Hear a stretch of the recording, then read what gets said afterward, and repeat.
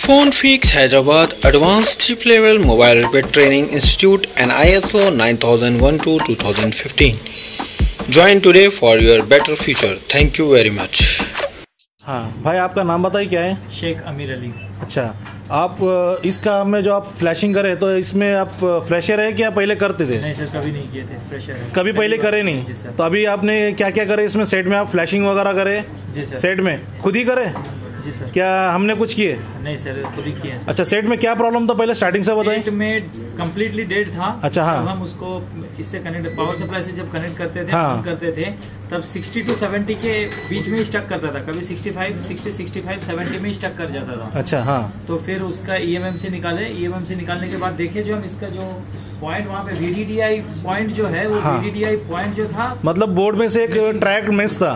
ठीक है उसके लिए क्या हो रहा था? सीपीयू पोर्ट डायरेक्ट पोर्ट बना रहा था। एमएमसी डिटेक्ट नहीं कर रहा था। था। ठीक है उसके बाद आपने उसको एक जंपर बना के बना के आईसी फिक्स कर दिए। बिल्कुल सर ठीक है लोगो स्टक था उसके बाद। जी सर फिर उसके बाद फ्लैशिंग करे सेट इस पे आ गया अपना वेलकम स्क्रीन पे आ गया। ईएमएमसी को जब हम बॉक्स पर लगा के चेक किए तो ईएमएमसी कम्प्लीटली ओके ओके बता रहा था एमएमसी में कोई इशू नहीं था। तो एमएमसी वगैरह आप चेक कर सकते हो ना आप खुद ही करे ना क्या मैं चेक किया था?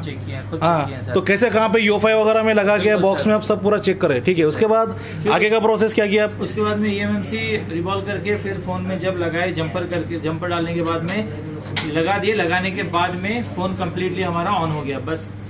हो गया ऑन हो जाने के बाद में फ़ोन पे जब हमारा एफ़ आर पी हाँ। लॉक शो किया हाँ। F R P lock show करने के बाद में हम उसको क्यूसी फ़ाइल से क्यूसी टूल से हम उसको हाँ कॉलकॉम के यूएमटी टूल से है ना तो क्या क्या करे आपने यहाँ से सर यहाँ पे हम हाँ एफ़ निकालने के लिए कहाँ गए थे आप? सर ये रूडेंट रीडेंट हाँ, ठीक यहाँ से क्या करें यहाँ पे आने के बाद में ये रिसेट एफ़ आर पी हाँ, है। अच्छा, रिसेट एफ़ आर पी पे क्लिक करके ईडीएल मोड पे ईडीएल मोड में कौन से मोड में कनेक्ट होता है ईडीएल मोड में ईडीएल मोड में। ईडीएल मोड पे हम केबल कनेक्ट किए। हाँ। कनेक्ट करने के बाद में वो एफ़ आर पी अनलॉक हो गया। होने के बाद में डाउट होता है एमआई अकाउंट के बारे में। अगर एमआई अकाउंट पे डाउट था हमारा फिर भी सर उसको हम क्लियर करने के लिए साउमी स्पेशल पे गए। हाँ। साउमी स्पेशल ऑन किए।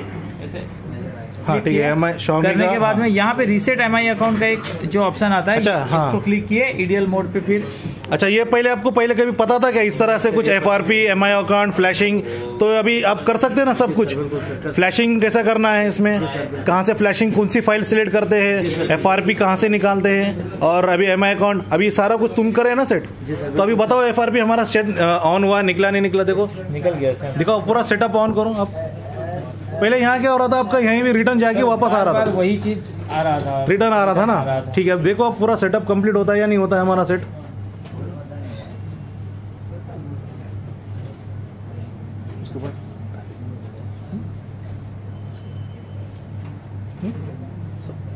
आगे सर। पूरा सेट ऑन हो गया? हो गया सर।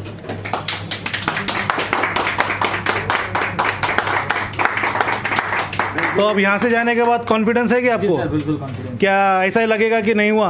कि वहाँ जाने के बाद आप कर सकते हो क्या? हंड्रेड परसेंट हो सकता है। हंड्रेड परसेंट फ्लैशिंग वगैरह और dead wood repair EMMC programming अब सारा कुछ कर लिए। 100% अब इसके पहले कभी काम किए कभी? कभी नहीं फ्लैशिंग या एमएमसी वगैरह कुछ कभी काम किए? किए थे पर फ्लैशिंग कभी नहीं हाँ तो आपको पहले हार्डवेयर भी नहीं पता था। हार्डवेयर भी आप यहाँ आके पूरा कंप्लीट किए है ना? तो आपका मास्टर कोर्स जो है इसके अंदर आप क्या क्या हार्डवेयर एमएमसी सॉफ्टवेयर सारा कुछ आप इसमें ही सीख गए। तो आप पूरा फ्रेशर देना पूरा? जी सर। तो आप सेटिस्फेक्शन है क्या अभी? Hundred percent hundred percent? जी सर। कर सकते हो? बिल्कुल सर। चलो ठीक है। गुड सर सब लोग देखे लाइव बनाए ये। सर वेरी नाइस भाई। Congratulation thank you sir thanks for your support पूरा ऑन होने दो।